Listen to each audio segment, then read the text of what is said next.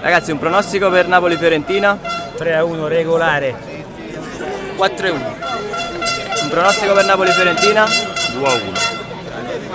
Sara, dici un pronostico? 1-0. Chi segna? Higuain. Higuain. Per lei? Higuain. Grazie.